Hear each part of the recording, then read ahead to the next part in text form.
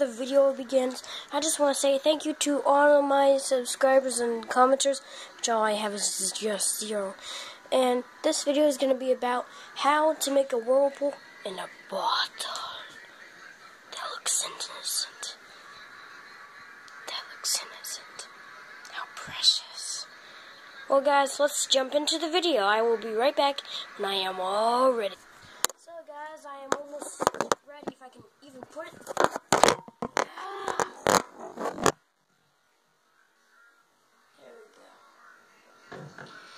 Do you think this will turn into a whirlpool? See how innocent this looks?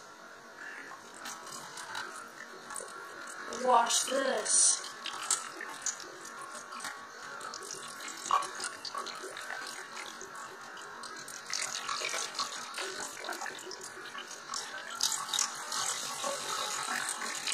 See that?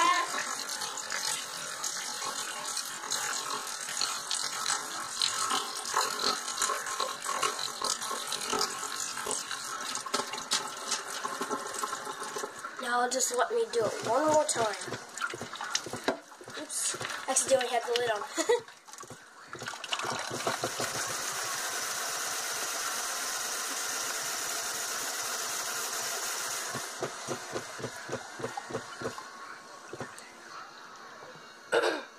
Sorry guys, I have a little frog in my throat if you guys didn't know.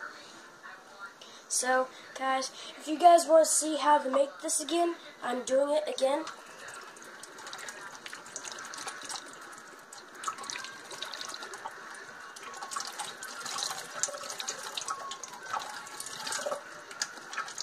I gotta rotate it a little bit. And boom, there you go. I see the eye of the storm.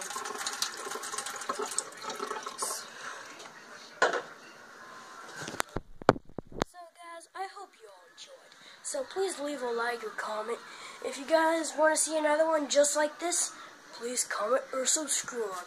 Oh yeah! Let's go! To make a whirlpool. Da -na -na -na -na.